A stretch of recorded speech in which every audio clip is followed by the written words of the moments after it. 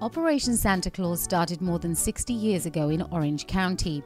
Sadly, many Americans and charities are suffering due to the economic downturn.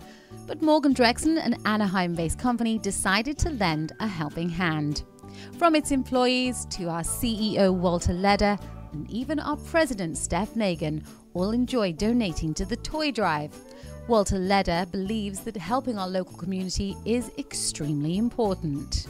Operation Santa Claus welcomed the gifts with open arms. Their 350 strong volunteer workforce gave up their free time to sort through toys donated by both local businesses and residents of Orange County. But donations are down. These shelves would normally be bulging with toys. Mona Gustafson has been part of Operation Santa Claus for many years. And she told Morgan Drexen that donations are considerably down this year.